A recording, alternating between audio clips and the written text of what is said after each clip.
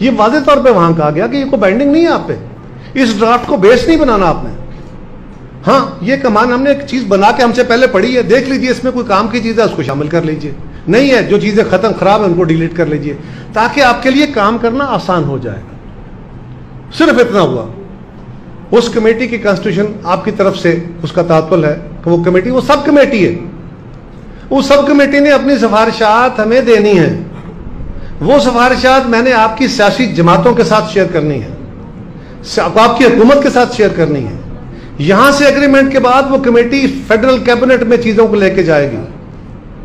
اس draft کو جو آپ کی جماعتوں کے ساتھ ایگریڈ ہوگا، آپ کی حکومت کے ساتھ ایگریڈ ہوگا اور پھر وہ آپ کی اسمبلی پاس کرے گی۔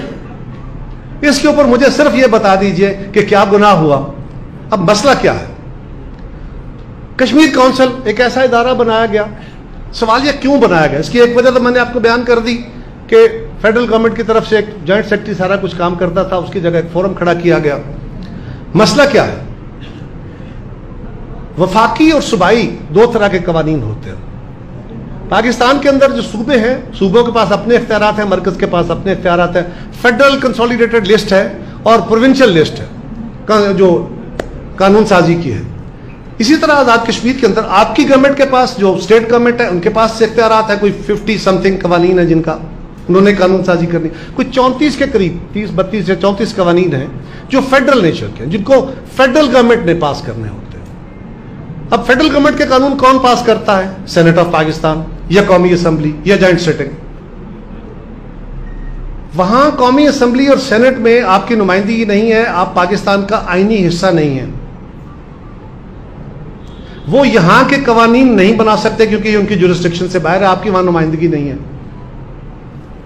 اس کام کے لیے کہ اس معاملے کو حل کرنے کے لیے کون سا فورم ہوگا؟ نہ تو یہ صرف صوبے کے پاس رہ سکتے، اپنے اسٹیٹ گورنمنٹ کے پاس رہ سکتے ہیں یا صوبائی حکومت کسی کو دیے جا سکتے ہیں۔ اور نہ یہ فیڈرل گورنمنٹ کر سکتے ہیں تو پھر کیا کیا جائے؟ اس مسئلے کے حل کے لیے ایک کونسل تشکیل دی گئی۔ یہ کونسل کا ادارہ بنا، جس میں چھ ممبر آپ کی اسمبلی الیکٹ کرتی ہے۔ جو کونسل کے ممبرز ہیں، وہ چھ ممبر الیکٹڈ آپ کی اسمبلی منتخب کرتی ہے، ووٹ کے ذریعے۔ اور اتنے ہی ممبر پاکستان کی مرکزی حکومت وزیر اعظم پاکستان اس کے چیئرمین ہیں، مختلف وزیر اس کا حصہ ہے تاکہ جو بھی فیصلے کرنے ہوں لا منسٹر اس کا حصہ ہے فائنانس منسٹر اس کا حصہ ہے یا پھر ایم این اے اور سینیٹر سے کچھ نام لیے جاتے ہیں۔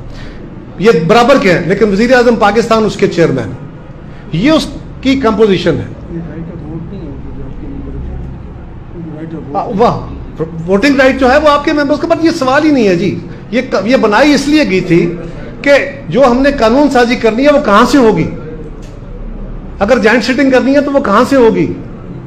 ایک اناملی آ گئی سامنے آئی کہ اب فیڈرل لیجسلیٹو لسٹ کے قانون سازی کیونکہ کونسل سے مالی اختیارات بھی لے لیے گئے انتظامی اختیارات ٹھیک ہو گیا حق ہو گیا۔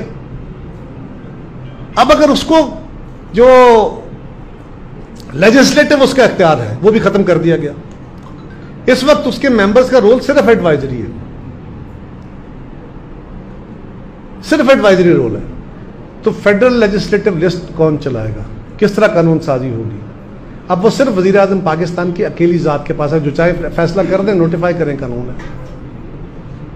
اس عملی کو دیکھا گیا، اس طرح کی اور کچھ چیزیں تھیں کہ اس کے اوپر ذرا فریش کیا جائے، آپ کی حکومت کے ساتھ بیٹھا جائے، اس کمیٹی میں لایا جائے، ان چیزوں کو دیکھ کے اس کے اوپر فیصلے کیے جائیں۔ اور پھر آپ کی حکومت کو دینا ہے، آپ کی اسمبلی میں آنا ہے۔ یہیں سے پاس ہوگا۔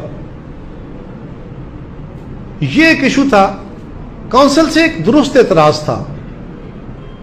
ہمارے دور میں بھی یہ تھا۔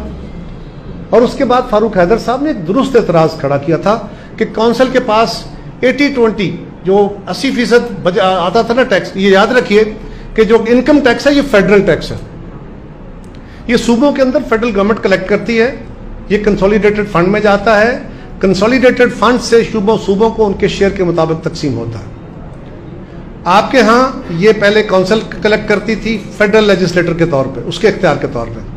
ایٹی پرسینٹ ڈائریکٹلی دیتی تھی ٹوینٹی پرسینٹ ڈیولپمنٹ کی صورت میں دیتی تھی، اس کو ابالش کر دیا گیا۔